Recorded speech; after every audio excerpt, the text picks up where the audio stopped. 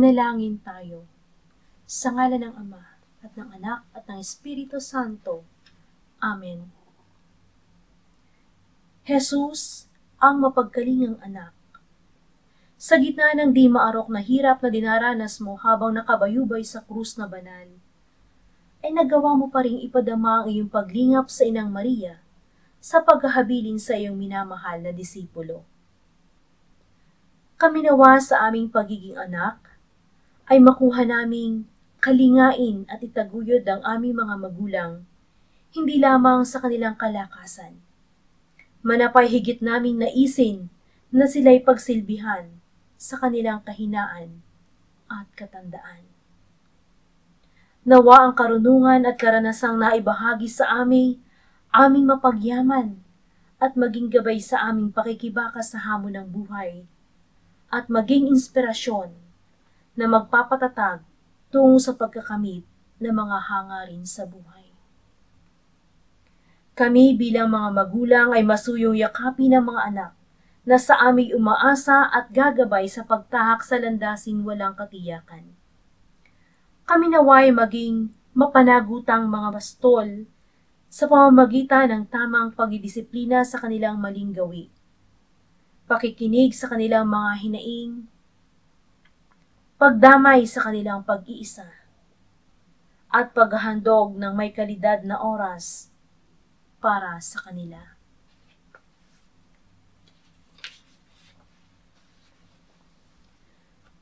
Diyos aming Ama, aming kanlungan, dumarating sa punto ng aming buhay ang kabiguan. Nakararanas ng kawalang pag-asa, Nararamdamang humihinto sa pag-ikot ang mundo at hindi makaalis o makagalaw man lamang sa aming kinatatayuan. Nagigipit sa mga pangailangang temporal. At sa ganitong pagkakataoy, napapausal ng, Diyos ko, Diyos ko, bakit naman ako po ay iyong pinabayaan? Ama, patawad Makita at maranasan nawa namin ang iyong pananatili sa aming puso. Ama, patawad. Tulungan po kaming piliing magkaroon ng kagalakan sa aming mga puso at masiyahang kung anuman ang mayroon kami. Ama, patawad. Umasa nawa kami sa iyong mabuting kalooban kalakip ang aming munting pagsusumikap. Ama, patawad. Kanlungan mo nawa kami ng iyong makaamang proteksyon at pagmamahal. Ama, patawad. Ang amin nawang kahinaan sa pagsuong sa mga hamon ng buhay ay mahustuhan mo ng iyong lakas upang di kami makaranas ng kakulangan. O Ama ng awa at habag, maawa ka sa amin. O Jesus ang mabuting pastol, maawa ka sa amin. O banal na Espiritu, aming gabay, maawa ka sa amin. Amen. Sa ngala ng Ama, ng Anak, at ng Espiritu Santo. Amen.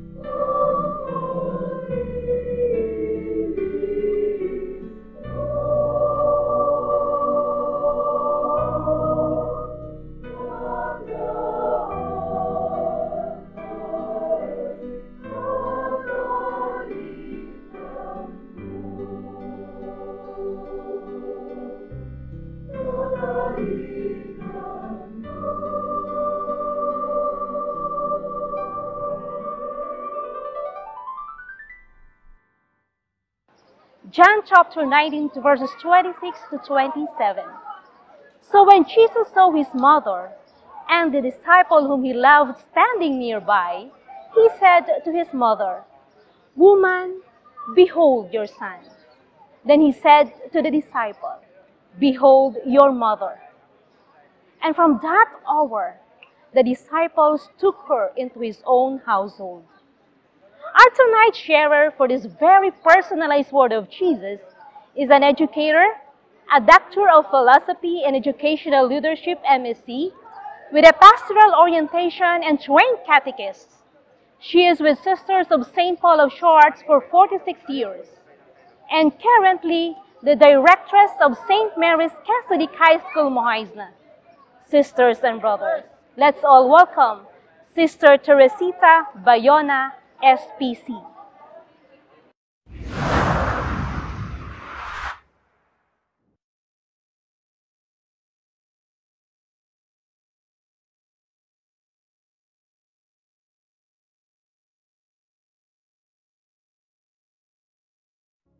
Good evening, brothers and sisters.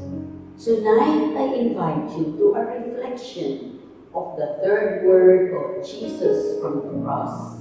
Woman, behold your son.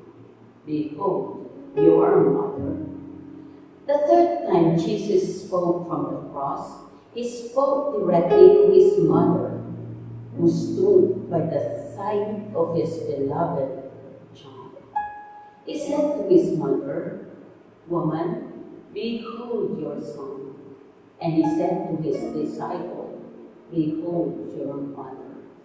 And from that hour, the disciple took her into his own home. In this passage, Jesus calls his mother woman. We recall one other time when Jesus called his mother woman that was at the wedding at Cana towards the end of Jesus' hidden life.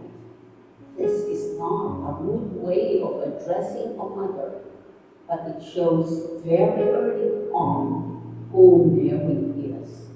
She stands for the new woman of creation, a new Eve. Remember in the story of creation, a woman named Eve led humanity into sin by her disobedience to the word of God. But here at the crucifixion, the new woman, the new Mary, is faithful to the end. We are told that only Mary and John remained to watch the Lord suffer all the rest of the apostles and disciples went into hiding for fear of the Jews. Fulton Sheen highlights that in the first three words of the cross, we hear Jesus speaking to three different groups of people. We met the first two groups last night when we reflected on the first two words of Jesus. First, his enemies who were crucifying him, like the Roman soldiers and the high priests. Second, the sinners who were not faithful to their life, such as the two thieves crucified with him, Barabbas, Judas, who betrayed him, and others. And tonight, finally, saints who have true faith in Jesus personified by Mary and John. But also, to each group, he gives something. To his enemies, like his executioners, he offers forgiveness. To the sinners, like the repentant thief, he offers entrance into heaven. And now, what does he offer the saints? Who believe in him Mary and John. He gives them to one another. We are a gift to each other.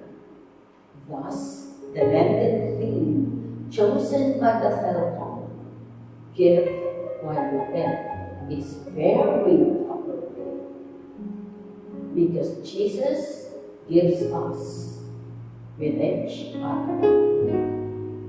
It offers to each one of us the gift of the other. Can there be a greater gift than the gift of self to another? That means I am here for you and you are here for me.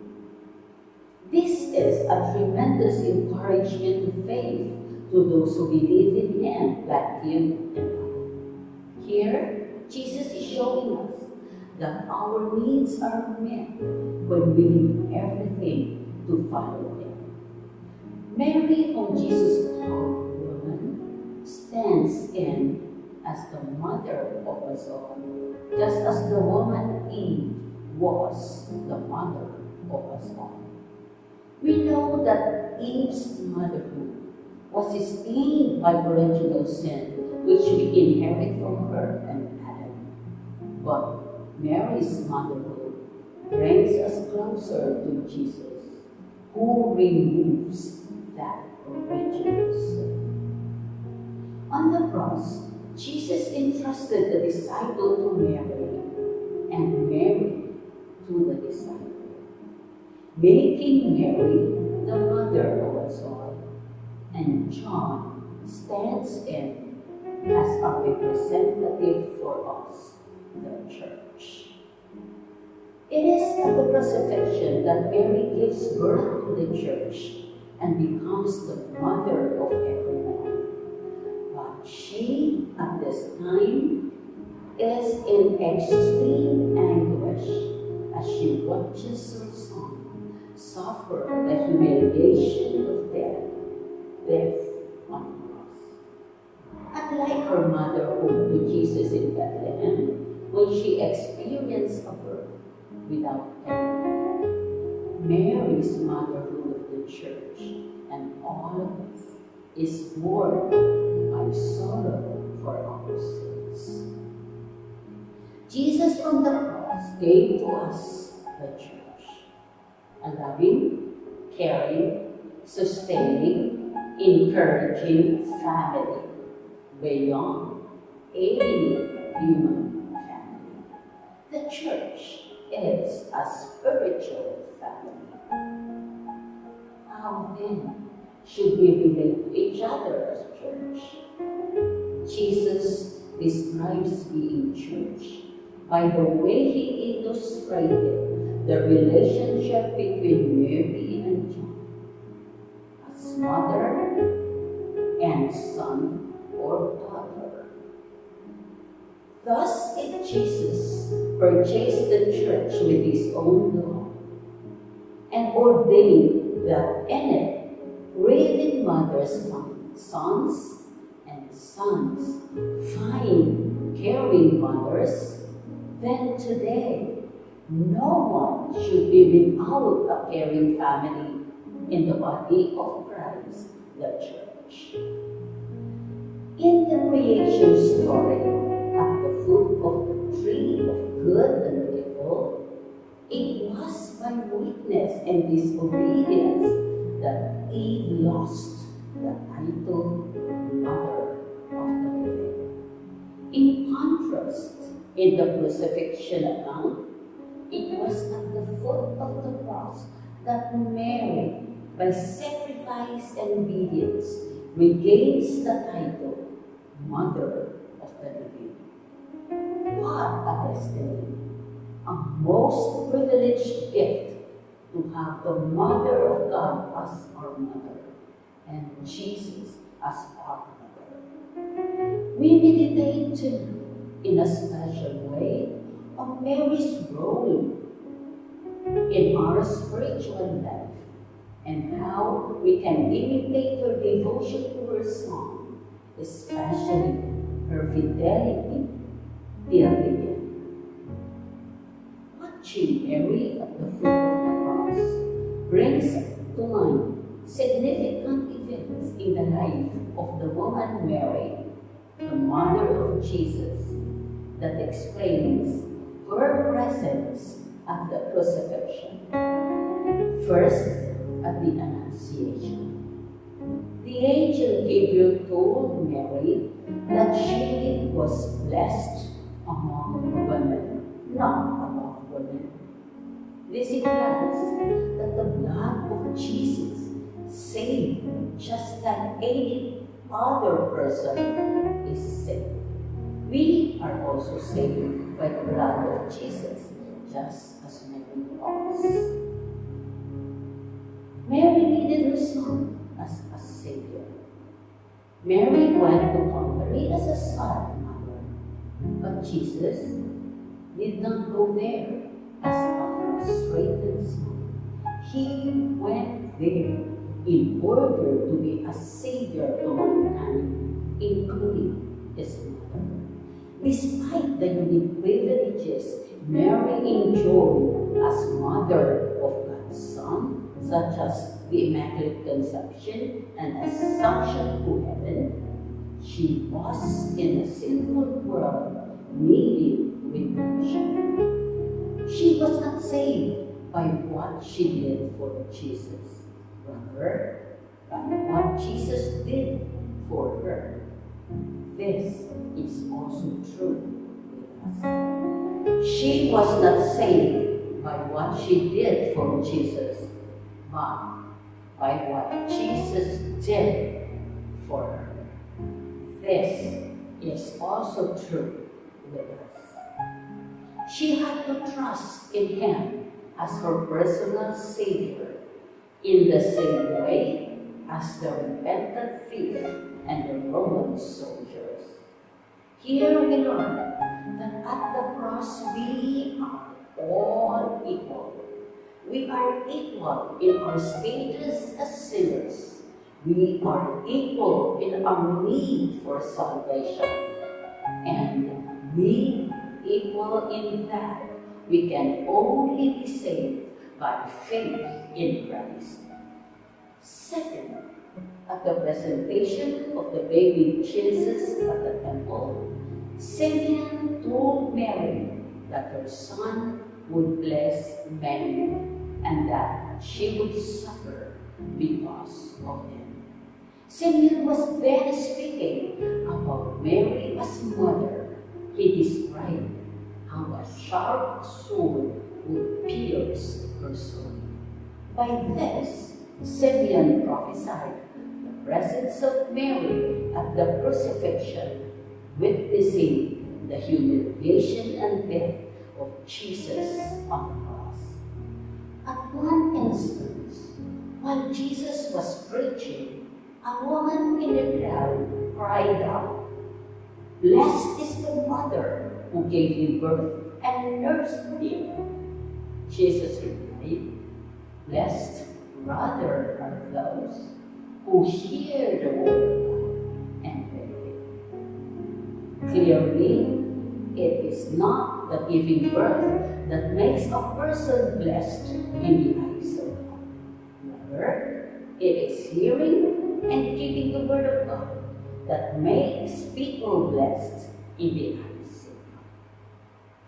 This is true for you and I, isn't it? In another account, we hear Jesus say, For whoever shall do the will of my Father in heaven is my brother, my sister, my mother. Isn't this a blessing for those who strive to do the will of God, like you and I? If Jesus was eager to care for his mother, how much more eager will he be today to care for those who hear and act out the word? If Jesus could provide for the needs of his own mother and beloved disciple, in the moment of his great weakness and humiliation while hanging on the cross, how much more can he provide for our needs, yours and mine, in his present condition of wealth, and exaltation? question we might ask tonight. Is it possible to love Jesus more than Mary did? We can try. She has shown us how. What are the lessons we learn? In order to take Mary homes like John, the beloved disciple, we need to know. To know Mary is to follow her. And standing by Mary at the foot of the cross, like John did, we become sons and daughters of Mary. A son and a daughter of Mary is to witness to Jesus' death and resurrection. This too is the challenge for young people if they uh-huh. understand their mission in the church. But mind you, young people who are strong, firm, and courageous are willing to follow Jesus to the cross, willing to accompany Mary at the foot of the cross. At the foot of the cross, Jesus asks his mother and his disciple to contemplate each other, to penetrate each other's heart, and to live in an intimate relationship with one another. As a result, the disciple eagerly takes Jesus' mother The same invite is offered to us tonight. Are we willing and ready to take Mary home and become her beloved son? Am I willing to care for a person in dire need, known or unknown to me? The vulnerable, the elected, the marginalized, the dying due to lingering sickness, the neglected among us? Can I offer myself as a gift to the other in order that the other may live a better life? Two recent events challenge the global community, the body of Christ, and echo the learnings from the third word of Jesus from the cross. These events show how we as church see and express meaning and purpose and experience our connectedness to the present moment, to self, to others, and the global community, to nature. Often, the worst of times brings the best in us. Consider Jesus' death on the cross gave birth to the church, making Mary the mother of Jesus, the mother of all. First is the coronavirus disease, COVID-19. It is disrupting various spheres of our social, political, or economical lives, and also intruding into our spiritual domain. Despite the lingering uncertainty of COVID-19, scientifically offers us an opportunity to reflect on the spiritual impact it has on the world and humanity. COVID-19 creates a worldwide threat, but also reminds us we are a global community. It leaves no space for stigmatization of a particular country or ethnic group. It has removed barriers of we and they, here and there, and stirs up the value of belongingness. It has demonstrated that it sees our globe as one single interdependent community, as strong as the weakest link.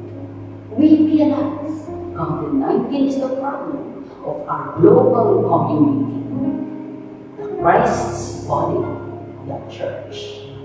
COVID-19 demands physical distancing, but requires unified societal action. Restrictions have been made on travel, tours, social gatherings, public functions, and people are urged to follow basic hygiene, not to meet others, or if necessary, to maintain distance.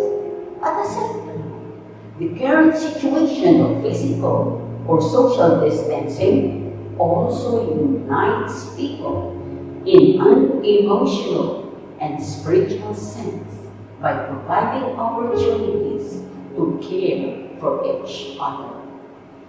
The essence of the lockdowns is to protect other citizens, especially the elderly, who run the highest risk, together with people with underlying health conditions.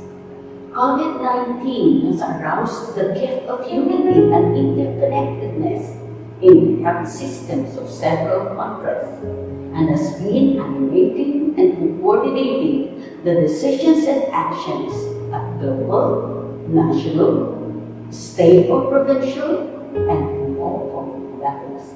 It demands global cooperation and solidarity. The young and old need to care for each other. People with good health should care about the people with health conditions. And obviously, countries should also care for each other in this global pandemic. In other words, we need intergenerational solidarity, cross-national solidarity. COVID-19 attacks human beings, also stirs up humanity as well. The pandemic changes our look towards others in our global community. It forces us to be compassionate and protect people we know, but also people we don't know, or even possibly care about including elders, economically weak, and those marginalized in their own countries. COVID-19 seizes religious freedom, but kindles faith. Human beings tend to turn to prayer in a time of crisis. Unfortunately, due to COVID-19, religious places including mosques, churches or temples are being closed. The weekly liturgy banned, masses suspended, and rituals curtailed. People will turn hopeless and say, Oh God, where do we go now? Getting through these testing times will require a lot of spiritual innovation. Amid this situation, people are encouraged to stay pray from home, and use the liturgy and prayer resources properly. Often, priests priest plays a major role in conducting church services. However, a call to pray from home transfers greater responsibility to the laity praying from home brings in a realization that all can have access to God through Jesus and all have the priestly responsibility of interceding for the people of God. It is time for understanding that similar to gathering of the faithful in physical church buildings, family members praying together in homes is also the real church, the body of Christ. The call to pray from home equally assures God's presence. Such a divine responsibility, however, needs to be handled with faith. It pushes us hard to rekindle our faith, to see God's intervention in overpowering the disastrous effects of coronavirus. COVID-19 pandemic reminds us we are deep down, deep within spiritual beings and makes us recognize that the problem of coronavirus is right here at the face of humanity. It is a challenge that requires a global cooperation and unity, a component of compassion to alleviate suffering, and a greater responsibility to exercise our faith, to witness divine intervention in the spirit of an intimate relationship of memory, Mother. Second challenge is the global experience we are facing, the Ukrainian crisis. We see that in the face of the, in the face of brutal military force, every church, schism, and division falls. And we humans all unite in the name of God through the intercession of Mary, the Mother. The invasion of Ukraine is causing massive humanitarian crisis. In addition to the pain and suffering experienced by those inside Ukraine, there are millions of people seeking refuge in neighboring nations with similar numbers displaced within Ukraine. This is a gargantuan task for the world community to aid, shelter, and host these unfortunate people. Once again, the vulnerable will suffer the most.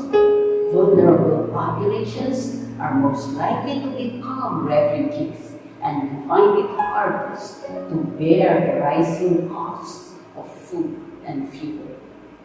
Aid efforts are underway globally to ensure that people's basic needs for food, shelter, and psychological safety are met in and beyond the conflict zone. Pope Francis says in the prayer of consecration to the Immaculate Heart of Mary, there is no magic formula but a spiritual man. It is an act of complete trust on the part of us children of God, who, amid the tribulation of this cruel and senseless war that threatens our world, we turn to Mary, reposing all our fears and pain in her heart and abandoning ourselves to her. Pope Francis went on to reflect on Mary's encounter with the angel Gabriel at the Annunciation, in which God invites her to become the mother of the Son of God. The angel Gabriel gave Mary the only reason for joy with his words the Lord is with you. The Lord echoes our call as He did Mary in Nazareth and brings us unexpected amazement and joy in the midst of suffering and difficulties. The angel Gabriel also tells Mary, do not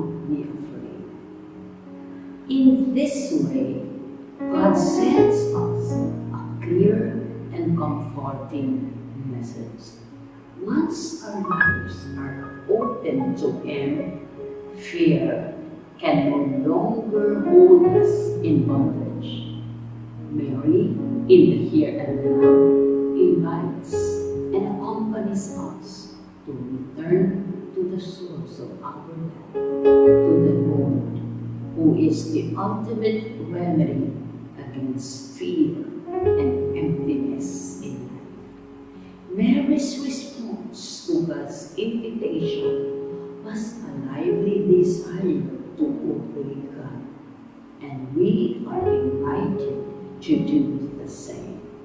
The prayer of consecration affirms that Mary always leads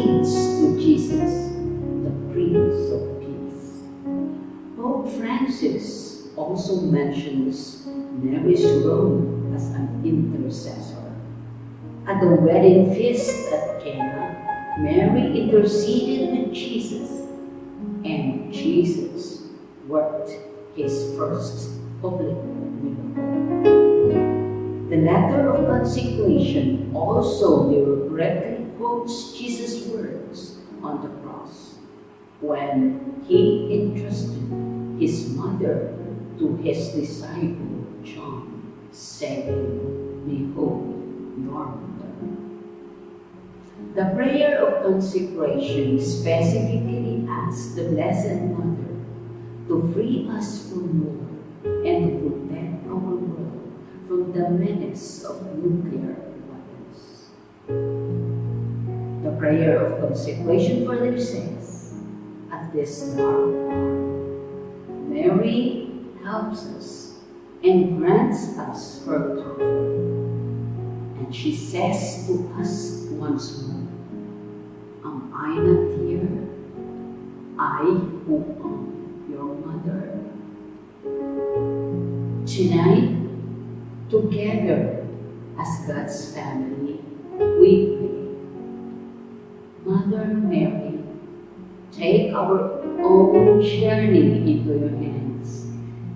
May you guide our steps through the steep and arduous paths of fraternity and dialogue, along the way of peace, along the way of